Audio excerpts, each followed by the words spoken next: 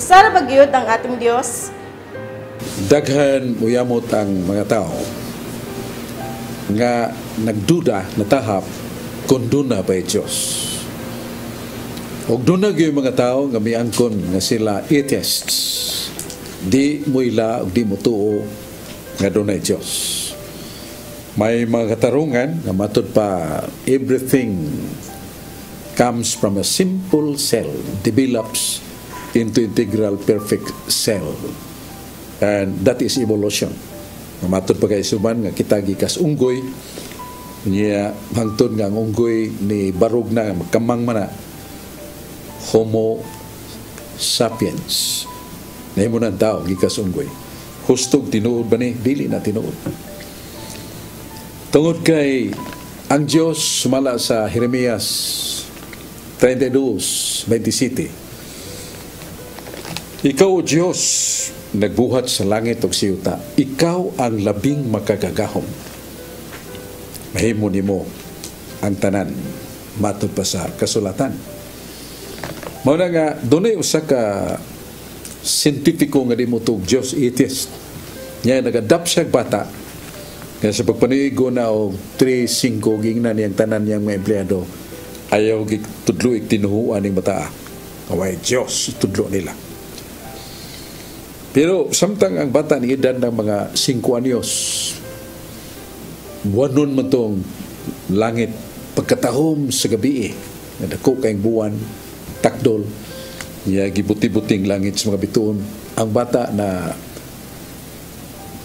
dasig sa pagguwa, umihangad siya. O say pagmata siya nga maama. Muna gisundan siya kung si buhatos bata. Mihangad ang bata o mingon siya sa buwan-buwan pagkanindot nimo mga bituon pagkanindot ninyo. Sultihi siya nga nagbuhat ninyo nga nahigugma ug nagatuo ko kaniya. Ang sintipiko nga di mo tog Diyos namukpok siya o di mada. Ang bata nga kung giaga kung gitudluan nga way Diyos ang kinaihan nagtudlo kaniya nga dunay Diyos Yaw sa ka sintipiko gihapon nga di mo to Ginoo iyang gi tudluan ng mga estudyante.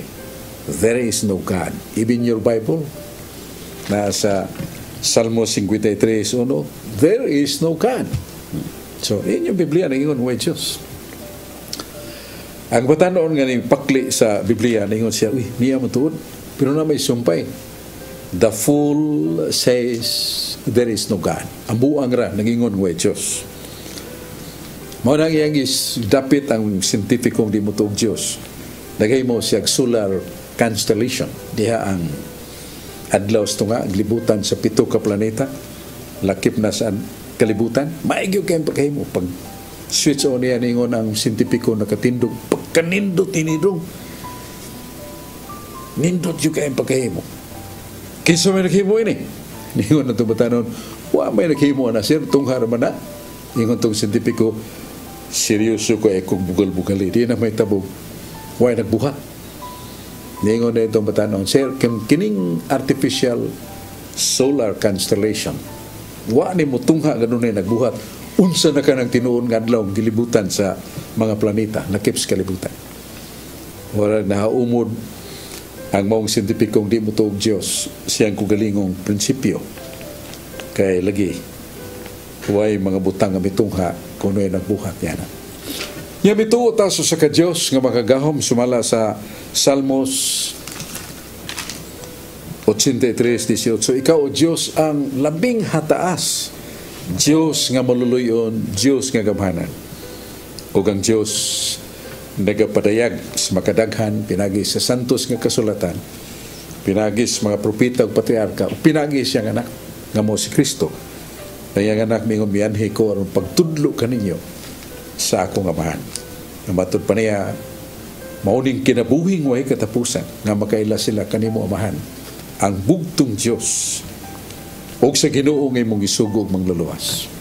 So, sarang Diyos o nagalangkob ang iyang anak na si Kristo nga mingon ang ako, ako nga akong aman o sara o ang Espiritu Santo tulong nagpamatuod sa langit o sara. So,